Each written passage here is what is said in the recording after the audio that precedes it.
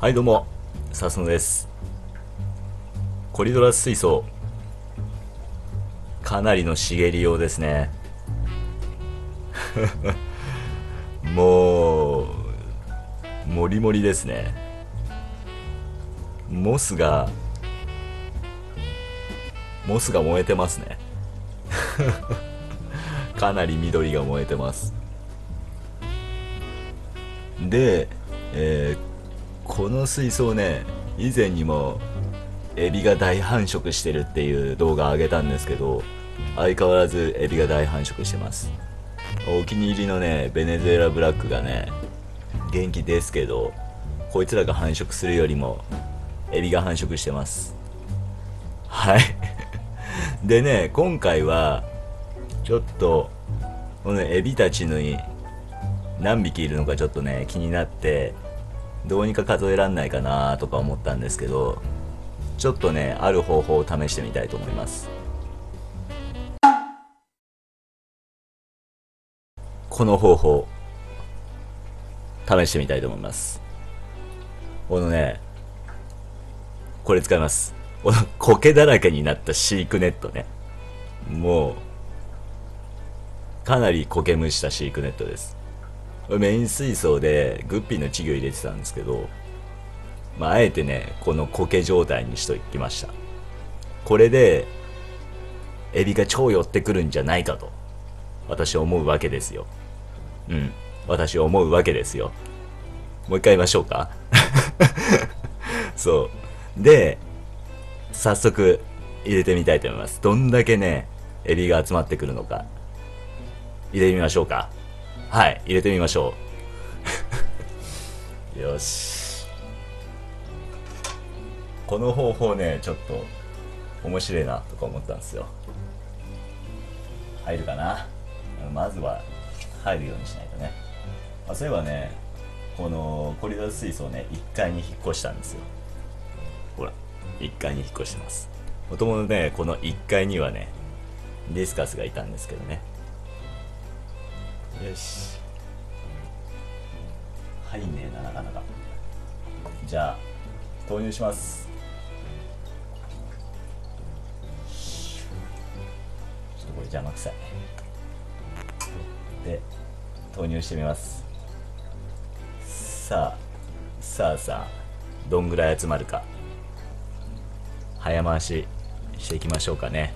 じゃあしばらくこれで。カメラね。回しときますんで。ちょっと見てみましょう。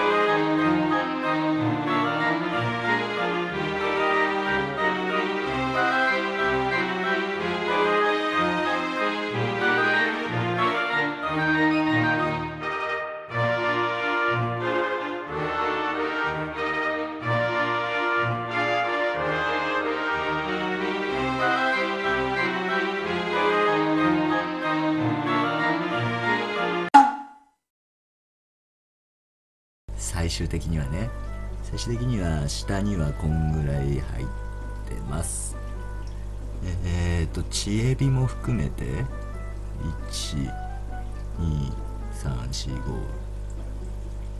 1234577匹ぐらいか。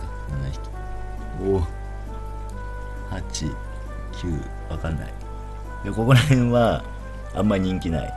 人気ないですけども気持ち悪いな、うん、結構いますねこの辺にもね。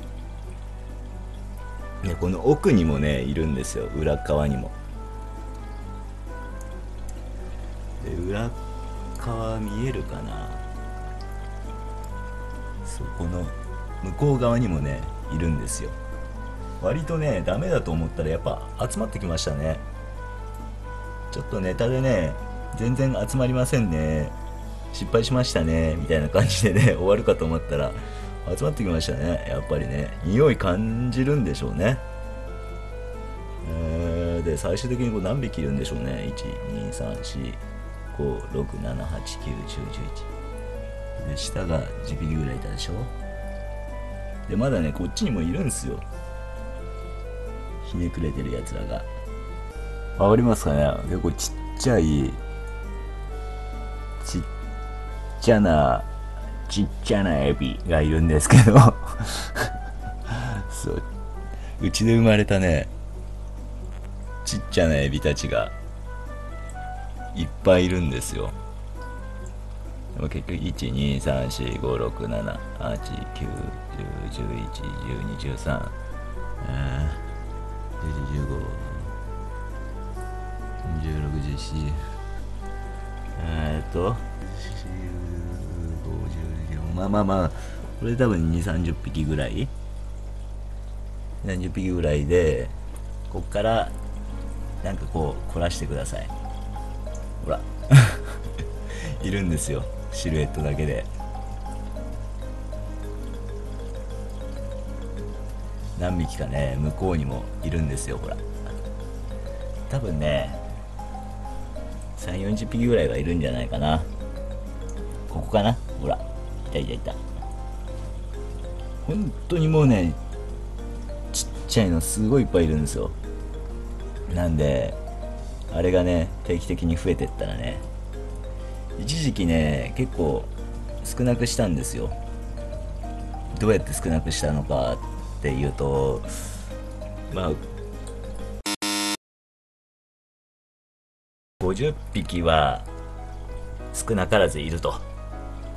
少なからず50匹ぐらいはいると思います。知恵ビも含めてね。100匹はいないんじゃないかな。もしかしたらここら辺とかを全部モスをバーって撤去したら100匹ぐらいいるかもしんないですけど。一応ね生体数はおそらく推定50匹ぐらいじゃないかなと思います。うん。でやっぱこのね網に苔が生えたやつで寄ってくるか実験は成功じゃないですかね。苔好きなエビちゃんたちはちゃんとやっぱ苔の匂いがわかるというか苔ついたものが出てくると寄ってくるんですね。はい。じゃあ今回はねこの辺で終わりたいと思います。じゃあご視聴ありがとうございました。ではまた。